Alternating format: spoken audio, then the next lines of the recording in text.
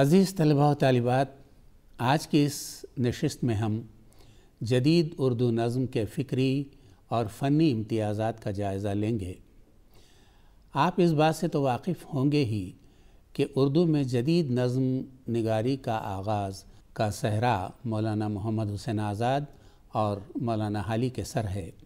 ان حضرات نے انجمن پنجاب کے تحت ایسے مشاعروں کی بنیاد رکھی جس میں شاعروں سے یہ خواہش کی جاتی تھی کہ وہ نئے موضوعات پر نظمیں کہہ کر سنائیں۔ اردو میں جدید نظم کے آغاز کے سلسلے میں انجمن پنجاب کی خدمات اس طرح بھی ناقابل فراموش ہیں کہ آگے چل کر اردو نظم کے موضوعات میں جو تنوع پیدا ہوا اور اس کی حیت میں جو تجربے ہوئے، اس کی بنیاد بھی انجمن پنجاب کے مشاعروں ہی میں رکھی گئی۔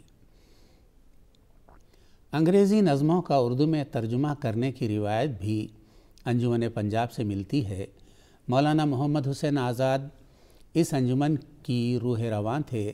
حالی بھی جلد ہی ان کے ساتھ شامل ہو گئے اور اردو شاعری کے مزاج کو بدلنے اور اردو میں نظم نگاری کو فروغ دینے میں حالی نے جو حصہ ادا کیا ہے وہ غیر معمولی اہمیت کا حامل ہے۔ آزاد اور حالی کے علاوہ کچھ اور شاعر بھی اس انجمن سے وابستہ تھے۔ انجمن پنجاب کے مشاعروں میں جو نظمیں پیش کی جاتی تھیں، ان کے عنوانات پر اگر آپ نظر ڈالیں تو آپ کو اندازہ ہوگا کہ شاعر حضرات کیسے موضوعات پر اظہار خیال کر رہے تھے۔ مثال کے طور پر، مولانا آزاد کی کچھ نظموں کے عنوانات یہ ہیں شب قدر، صبح امید، خواب امن داد انصاف ودائے انصاف، گنج قنات ابر کرم، جغرافیہ طبعی کی ایک پہیلی، جذب دوری وغیرہ۔ آزاد کی نظمیں زیادہ تر مصنوی کی حیث میں ہیں، لیکن آخری دو نظمیں نظم معرہ کی صورت میں ہیں۔ اس طرح مولانا آزاد نے پہلی بار اردو میں نظم معرہ کی طرح ڈالی۔ آزاد نے مصنوی کو عشقیہ داستانوں کے دائرے سے نکال کر اس کو فطرت نگاری اور دوسرے موضوعات سے آشنا کیا۔ اس طرح انہوں نے صنف مصنوی کے دائرے کو وسیع کر دیا۔ مولانا محمد حسین آزاد کی ایک نظم معرفت الہی کے درج ذیل اشعار سے اس بات کا ثبوت ملتا ہے۔ سینکڑوں چیزیں اس جہان میں ہیں کہ بری خلق کے گمان میں ہیں۔ صرف ہووے گر اس میں حسن خیال، تو ہو پھر نقص اس کا عین کمال۔ گل و سنبل سے تا خس و خاشاک، خاک سے تاب گلشن افلاک۔ رکھتے جو لوگ ہیں نظر عالی، نہیں عبرت سے کوئی شے خالی۔ ہر ورق ہے شجر پہ بحر حساب۔ بکف دست معزت کی کتاب۔ انجمن پنجاب کے مشاعروں کے سب سے اہم شاعر مولانا حالی تھے، انہوں نے وہاں چار نہایت بلند پایا نظمیں سنائیں۔ ان میں برکھارت نشات امید، مناظر رحم و انصاف اور حب وطن شامل ہیں۔ یہاں مولانا حالی کی ایک نظم برکھارت کے چند اشعار پیش ہیں، جن میں موسم بارہ کی بڑے سیدھے سادے لیکن بڑے مؤثر انداز میں تصویر کشی کی گئی ہے۔ اس دور میں یہ ایک بالکل نیا رنگ تھا۔ موضوع کے اعتبار سے بھی اور زبان و بیان کے لحاظ سے بھی۔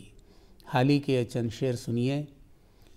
گرمی کی تپش بجھانے والی، سردی کا پیام لانے والی، قدرت کے عجائبات کی کان، عارف کے لیے کتاب عرفان۔ وہ شاخ و درخت کی جوانی وہ مور و ملخ کی زندگانی، وہ سارے برس کی جان برسات، وہ کون؟ خدا کی شان برسات، آئی ہے بہت دعاؤں کے بعد اور سینکڑوں التجاؤں کے بعد۔ حالی نے نہ صرف اپنی نظموں میں قدیم و جدید رنگوں کی ہنرمندانہ پیوند کاری کی، بلکہ موضوعات میں تنوع اور طرز اظہار میں جدت کے ساتھ اردو نظم کو ایک امتیازی حیثیت عطا کی اور اس کو ایک صحت مند ڈگر پر ڈال دیا۔ حالی اپنی قوم کی زبوں حالی پر نہایت فکر مند تھے۔ علی گڑھ تحریک سے ان کی گہری وابستگی اور سر سید کے مشوروں نے بھی حالی کے ان خیالات کو تقویت بخشی کہ اپنی قوم کو خواب غفلت سے بیدار کرنے، اس کی کمزوریوں کو دور کر کے اس کو ترقی کی راہ پر لگانے کے لیے کچھ کرنا ازبز ضروری ہے۔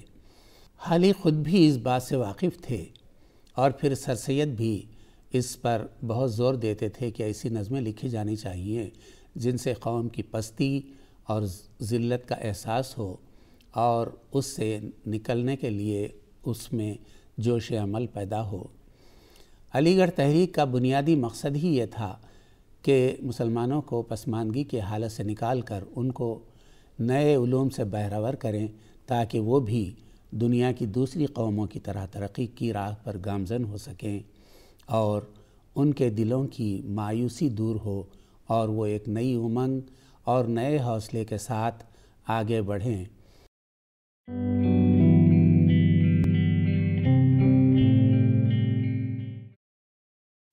علی گڑھ تحریک سے وابستہ سب سے اہم شعراء مولانا حالی اور شبلی نعمانی نے علی گڑھ تحریک کے ان مقاصد کو پیش نظر رکھتے ہوئے بہت ساری نظمیں لکھیں۔ خاص طور پر حالی نے نہایت بلند پایا اور بڑی پر اثر نظمیں لکھی یوں تو حالی نے جوان مردی کا کام، خود ستائی، قوم کی پاسداری، مناجات بیوہ چپ کی داد، مرثیہ غالب جیسی کئی چھوٹی بڑی اور نہایت عمدہ نظمیں لکھی ہیں۔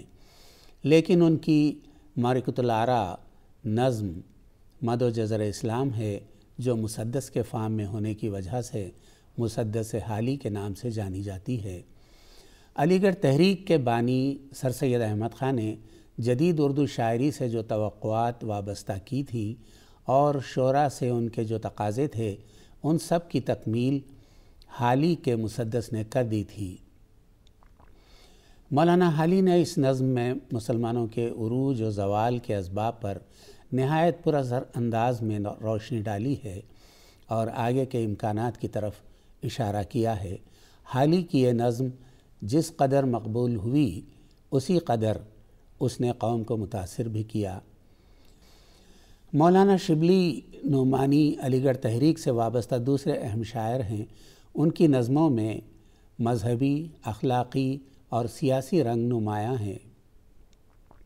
شبلی کی نظموں میں ہجرت نبوی، مساوات اسلام، عدل فاروقی کا ایک نمونہ اور خواتین عرب کا ثبات و استقلال نہایت دلکش نظمیں ہیں۔ شبلی کی سیاسی اور قومی نظموں میں شہراش و اسلام، ہم کشتگان مارکے کانپور ہیں، مذہب یا سیاسیات، علماء زندانی، جنگ یورپ اور ہندوستانی خاص طور پر قابل ذکر ہیں۔ شبلی کی سیاسی نظموں میں طنز کا عنصر خاصا گہرا ہے۔ اس طرح شبلی نعمانی نے اپنے وقت کے تقاضوں کے پیش نظر نظم کو طنز کے عنصر سے روشناس کیا۔ اکبر الہ آبادی اردو کے دوسرے اہم مزاح نگار شاعر تسلیم کیے جاتے ہیں۔ وہ اس عہد سے تعلق رکھتے ہیں، لیکن علی گڑھ تحریک سے ان کا تعلق نہیں تھا، بلکہ ان کی اپنی نظموں میں جگہ جگہ سر سید اور ان کی جدت پسند خیالات کا مذاق اڑایا ہے۔ سر سید مغربی علوم سے استفادہ کرنا چاہتے تھے، جبکہ اکبر مغربی علوم اور مغربی تہذیب کو ہندوستانیوں اور بالخصوص مسلمانوں کے لیے ایک خطرہ تصور کرتے تھے۔ بعد میں اکبر سر سید کے اخلاص اور ان کی قومی خدمات کے قائل تو ہو گئے تھے، لیکن مغربی تہذیب کی خرابیوں اور انگریزی حکومت پر برابر طنز کرتے رہے۔ اکبر نے اردو نظم کی نشو و نما اور ترویج میں بہت اہم حصہ ادا کیا ہے۔ ان کا طرز فکر اور انداز بیان دونوں منفرد ہیں۔ وہ طنز و مزاح کے پردے میں بڑی گہری باتیں کہہ جاتے ہیں۔ برق کلیسا جلوے دربار دہلی، ایک بوڑھا نحیف و خستہ وزار، گرمی، بحث میں ان کی اہم نظمیں ہیں۔ اکبر نے جدید اردو نظم کو طنز و مزاح سے خوب آراستہ کیا ہے۔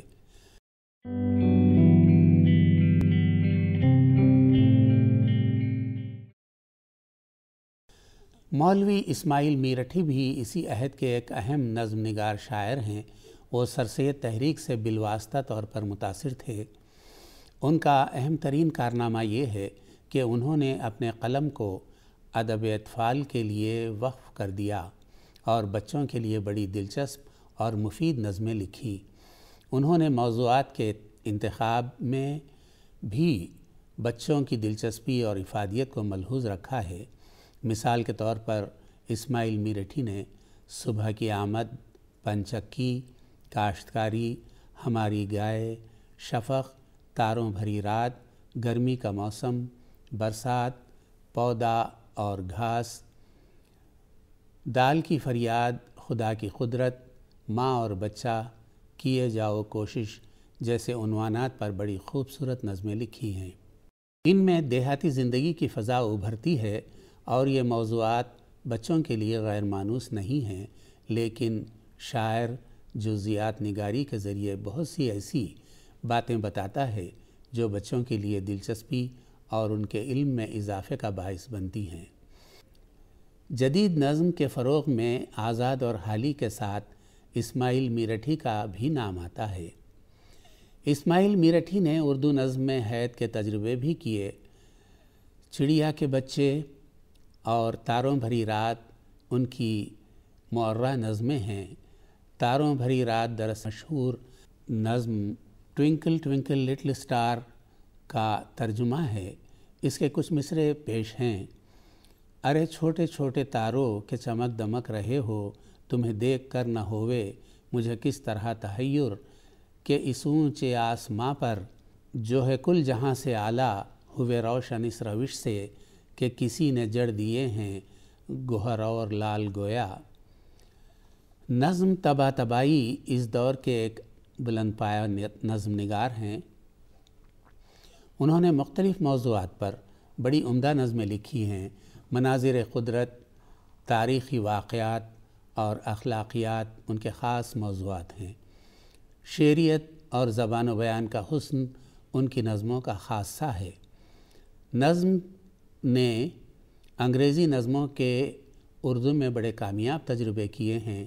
ان کا سب سے عمدہ اور مشہور ترجمہ وہ ہے جو انہوں نے انگریزی شاعر ٹامس گرے کی نظم elegy written in the country churchyard کا گورے غریباں کے نام سے کیا ہے گرے نے اپنی نظم میں قوافی کی جو ترتیب رکھی ہے نظم نے اپنے ترجمے میں اس کا بھی التزام رکھا ہے اس طرح اردو میں چار چار مصروں پر مشتمل ایک ایک بند یعنی سٹانزا لکھنے کی ایسی طرح ڈالی، جس میں پہلے مصرے کا قافیہ تیسرے سے اور دوسرے مصرے کا قافیہ چوتھے مصرے سے ملتا ہے۔ نظم تبا تبائی نے یہ ترجمہ اس خوبی سے کیا ہے کہ اصل نظم کا جذباتی تاثر، سوز و گداز اور عبرت خیزی کی کیفیت پوری طرح ترجمے میں سمٹ آئی ہے۔ اس شاہکار نظم کے ابتدائی دو بند یہ ہیں ودائے روز روشن ہے گجر شام غریباں کا۔ چراگاہوں سے پلٹے قافلے وہ بے زبانوں کے۔ قدم گھر کی طرف کی شوق سے اٹھتا ہے دہقہ کا۔ یہ ویرانہ ہے میں ہوں اور تائر آشیانوں کے۔ اندھیرا چھا گیا، دنیا نظر سے چھپتی جاتی ہے۔ جدھر دیکھو، اٹھا کر آنکھ، ادھر ایک ہو کا ہے عالم۔ مگس لیکن کسی جا بھیرویں بے وقت گاتی ہے، جرس کی دور سے آواز آتی ہے کبھی پیہم نظم تبا تبائی نے اور بھی کئی انگریزی نظموں کے ترجمے کیے ہیں، لیکن گورے غریباں کو سب سے نمایاں حیثیت حاصل ہے۔ نظم تبا تبائی نے اردو نظم میں حید کے تجربے بھی کیے ہیں۔ ان کے یہاں ہم کو نظم معرہ بھی ملتی ہے۔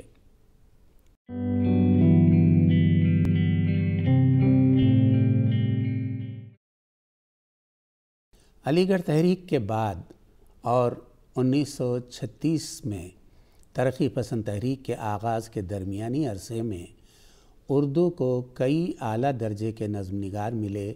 ان میں اقبال کے علاوہ نوبت رائے نظر درگا سہائے سرور، برج نرائن چکبست، نادر کا کوروی کے نام بہت اہم ہیں۔ نوبت رائے نظر ایک کامیاب نظم نگار تھے، ان کی نظموں میں جوش و تفکر کے ساتھ جذبات نگاری اور خیال آفرینی کے خصوصیات پائی جاتی ہیں۔ نظر نے بعض انگریزی نظموں کا بھی اردو میں ترجمہ کیا ہے۔ ان کے یہاں وطن پرستی کے جذبات بھی ملتے ہیں۔ تیغ ہندی، وطن دوستی اور سیتا جی جیسی نظموں میں حب الوطنی اور قوم کی عظمت رفتہ کے احساسات نمایاں ہوتے ہیں۔ سرور جہاں آبادی نے بھی اردو نظم نگاری کو نئی جہتوں سے روشناس کیا، انہوں نے اپنی نظموں میں ہندوستانی ماحول، رسوم و عقائد، ہندوستانی روایات و اساتیر اور ہندوستانی طرز فکر کی ترجمانی کی، سرور نے اپنی نظموں میں بڑی پر اثر منظر نگاری کی ہے۔ ان کی نظموں میں قوم پرستی، حب الوطنی اور سیاسی شعور کا بھی اظہار ہوتا ہے۔ انگریزی راج کے خلاف اور تحریک آزادی کے حق میں چکبس نے بڑی پر اثر نظمیں لکھی ہیں، جن میں خاک ہند، وطن کا راگ، ہمارا وطن اور آواز قوم خاص طور پر قابل ذکر ہیں۔ چکبست نے رامائن کا ایک سین کے نام سے جو نظم لکھی ہے، وہ بھی بہت متاثر کن ہے۔ سیر دہرادون میں چکبست نے بڑی خوبصورت منظر نگاری کی ہے۔ چکبست نے بعض قومی رہنماؤں اور سیاسی شخصیات کے مرثیے بھی لکھے ہیں۔ اقبال اردو کے عظیم شاعر ہیں۔ انہوں نے اپنی فکری گہرائی اور فنی حسن سے اردو نظم کو بھی اس کے نقطۂ عروج پر پہنچا دیا ہے۔ اقبال کی ابتدائی نظموں میں حسن فطرت کی دلکشی، حب الوطنی اور قومی یکجہتی کے رنگ دکھائی دیتے ہیں۔ لیکن جب اقبال نے کئی برس یورپ میں گزارے اور تاریخ انسانی کے پس منظر میں مختلف قوموں کے عروج و زوال اور ظالم و مظلوم اقوام کے حالات کا گہرائی کے ساتھ مطالعہ کیا تو وہ اس نتیجے پر پہنچے کہ ظلم اور خود غرضی کے خاتمے اور حق و انصاف کے نفاذ کے لیے اس کے سوا کوئی چارہ نہیں کہ ہم قرآنی تعلیمات پر عمل پیرا ہوں اور نبی کریم صلی اللہ علیہ وسلم کی ہدایات کو مشل راہ بنا لیں۔ اقبال اردو کے پہلے شاعر ہیں جن کی نظموں میں ایک مستقل پیام اور ایک مربوط فلسفہ ملتا ہے۔ اقبال کے فلسفہ حیات کی بنیاد، ان کے تصور خودی، تصور عشق اور جوش عمل پر ہے۔ اقبال نے خودی کو ایک وسیع تر مفہوم میں استعمال کیا ہے۔ اقبال کے نزدیک خودی عزت نفس بھی ہے، عرفان ذات بھی، جو انسان کو یہ احساس دلاتی ہے کہ اس کائنات میں اس کا مقام و مرتبہ کیا ہے۔ اس کی تخلیق کی غرض و قائد کیا ہے؟ کون سا عمل اس کے شائع نشان ہے اور کون سا اس کے منافی؟ خودی انسان کو اس کی بے پناہ قوتوں اور صلاحیتوں سے آگاہ کرتی ہے، جن کو بروئے کار لانے کی ضرورت ہے۔ اقبال کی نظر میں عشق وہ لافانی جذبہ ہے جس کی مدد سے اس کائنات کو مسخر کیا جا سکتا ہے۔ اس لیے کہ یہی جذبہ عشق خالق و مخلوق کے رشتے کو مستحکم بناتا ہے اور انسان کو حق کی سربلندی کے لیے خطرات سے ٹکرا جانے کا حوصلہ عطا کرتا ہے۔ غرض، اقبال نے اپنے اعلیٰ افکار اور متاثر کن طرز بیان سے اردو نظم کو اس کی معراج پر پہنچا دیا ہے۔ مسجد قرطبہ، ذوق و شوق ساقی نامہ شکوہ، جواب شکوہ، خضر راہ، لال صحرا وغیرہ اقبال کی چند ایسی نمائندہ نظمیں ہیں جو عالمی ادب میں ایک ممتاز مقام رکھتی ہیں۔ اقبال کے معاصرین میں نادر علی خان عباسی ایک منفرد نظم نگار تھے۔ انہوں نے انگریزی ادب اور شاعری کا اچھا مطالعہ کیا تھا۔ نادر نے کئی انگریزی نظموں کے نہایت عمدہ ترجمے کیے ہیں۔ ایسے منظوم ترجموں میں گھنٹہ نہیں بجے گا، گزرے زمانے کی یاد، آنسو، شاعر کا دل، مرحومہ کی یاد میں حسن کامل اور خواب نوشین خاص طور پر قابل ذکر ہیں۔ نادر کارکوروی کی منظوم ترجموں میں ایسی صفائی اور روانی ہے کہ ان پر توازاد نظموں کا گمان ہوتا ہے۔ نادر کاکوروی جو توازاد نظمیں ہیں، ان پر انگریزی شاعری کے اثرات دکھائی دیتے ہیں۔ انیس سو چھتیس میں ہندوستان میں ترقی پسند تحریک کا قیام عمل میں آیا۔ اس تحریک سے وابستہ شاعروں نے بھی نظم نگاری کو فروغ دینے میں اہم حصہ لیا۔ ترقی پسند تحریک مارکسی نظریات اور روسی انقلاب پر انقلاب سے متاثر تھی۔ اس کا مقصد ایسا ادب تخلیق کرنا تھا جو سرمایہ دارانہ نظام کو ختم کرنے اور غریبوں اور محنت کشوں کے حقوق کو بحال کرنے میں مددگار ہو۔ اس طرح ترقی پسند تحریک سے وابستہ شاعروں نے جاگیرداری اور سرمایہ داری کی پیدا کردہ خرابیوں پر روشنی ڈالنے اور کسانوں اور مزدوروں کے ساتھ روا رکھی جانے والی ناانصافیوں کو اجاگر کرنے پر اپنا زور قلم صرف کیا اور اپنی نظموں میں ایک انقلابی رنگ پیدا کرنے کی کوشش کی، اس تحریک سے وابستہ نظم نگاروں کی فہرست خاصی طویل ہے، لیکن اس میں فیض، مخدوم، مجاز، سردار جعفری، کیفی اعظمی، ساحر لدھیانوی اور اختر الایمان کے نام بہت نمایاں ہیں۔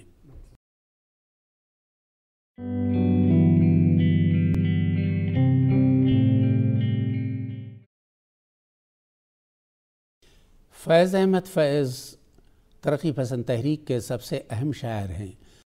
انہوں نے ترقی پسند تحریک سے جڑے موضوعات یعنی سیاسی، سماجی اور معاشی مسائل پر بڑی عمدہ نظمیں لکھی ہیں۔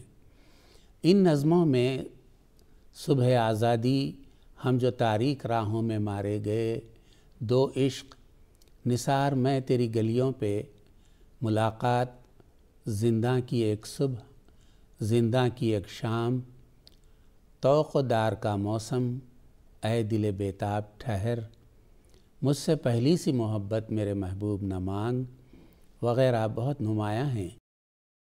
فیض کے لہجے میں ایک ٹھہراؤ نرمی اور دھیما پن ہے۔ فیض نے انقلابی موضوعات پر قلم اٹھاتے وقت بھی اردو شاعری کی روایات اور تغزل کا خیال رکھا ہے۔ یہی وجہ ہے کہ ان کی نظموں میں غیر معمولی حسن اور دلکشی کا احساس ہوتا ہے۔ فیض کی نظموں کی ایک خاص بات یہ ہے کہ انہوں نے اردو شاعری کے قدیم رموز و علائم کو نئے مفاہیم کے ساتھ اپنی شاعری میں استعمال کیا ہے۔ مخدوم محی الدین ترقی پسند تحریک کے دوسرے سب سے اہم شاعر ہیں۔ انہوں نے ترقی پسندی کو فیشن کے طور پر اختیار نہیں کیا، بلکہ پورے خلوص کے ساتھ اس تحریک کی کامیابی کے لیے اپنے آپ کو وقف کر دیا تھا۔ لگی لگائی ملازمت چھوڑ کر کمیونسٹ پارٹی کے ہمہ وقتی کارکن بن گئے تھے۔ کبھی جنگلوں میں روپوشی اختیار کی اور کبھی قید و بند کی صعوبتیں جھیلی۔ ان سب کے باوجود مخدوم نے انقلاب اور آزادی کے بڑے خوبصورت گیت گائے ہیں۔ تور، چاراگر جیسی کئی رومانی نظموں میں جمالیاتی کیف تو موجود ہے ہی۔ مخدوم کی انقلابی نظمیں بھی فنی رچاؤ اور غنائیت سے چھلکی پڑتی ہیں۔ یہی خوبی ان کو ترقی پسند شعراء میں ایک امتیازی حیثیت عطا کرتی ہیں۔ ان کی انقلابی نظموں میں چاند تاروں کا بن، انقلاب، اندھیرا آتش کدہ اسٹائلن سپاہی وغیرہ خاص طور پر قابل ذکر ہیں۔ سردار جعفری ایک اہم ترقی پسند شاعر ہیں۔ ان کی انقلابی نظموں میں بڑے جوش اور گھن گرج کا احساس ہوتا ہے، ان کا انداز خطیبانہ ہے۔ ان کی طویل نظم، نئی دنیا کو سلام، ان کا ایک اہم شعری کارنامہ ہے۔ رومان سے انقلاب تک بھی ان کی ایک مشہور نظم ہے جو ان کی اپنی سرگزشت کا شعری اظہار ہے۔ سردار جعفری کے لہجے پر کہیں اقبال کا اثر دکھائی دیتا ہے اور کہیں جوش کا۔ ساحر لدھیانوی کو ترقی پسند شاعروں میں بہت مقبولیت اور پسندیدگی حاصل رہی ہے۔ ساحر کے مزاج میں بے ساختگی اور تغزل کے عناصر موجود ہیں، جو ان کی شاعری میں رنگینی اور شادابی پیدا کرتے ہیں۔ یہی وجہ ہے کہ ساحر کی نظموں میں بڑی دلکشی پائی جاتی ہے۔ ان کی نظمیں اپنی بے ساختگی، وضاحت اور شیرینی کی وجہ سے تعلیم یافتہ نوجوان طبقے کو بہت متاثر کرتی ہیں۔ تاج محل ساحر کی سب سے مشہور نظم ہے، جس میں سرمایہ اور محنت کے بارے میں ان کا رد عمل ظاہر ہوتا ہے۔ یہ نظم خاص تاثر رکھتی ہے ساحر کی دوسری کامیاب نظموں میں، گریز، چکلے لمحہ غنیمت، بنگال فنکار کل اور آج، ایک شام، خودکشی سے پہلے، جاگیر، مادام، مفاہمت، شکست زندہ، لہو نظر دے رہی ہے حیات، نور جہاں کے مزار پر، نیا سفر ہے پرانے چراغ گل کر دو، بہت نمایاں ہیں۔ ان تمام نظموں کی خصوصیت، ساحر کا وہ ہموار اسلوب ہے جس میں تصنع اور بے راہ روی کو دخل نہیں ہے۔ ساحر اپنے تجربات و احساسات کو ایک خاص سلیقے سے پیش کرتے ہیں۔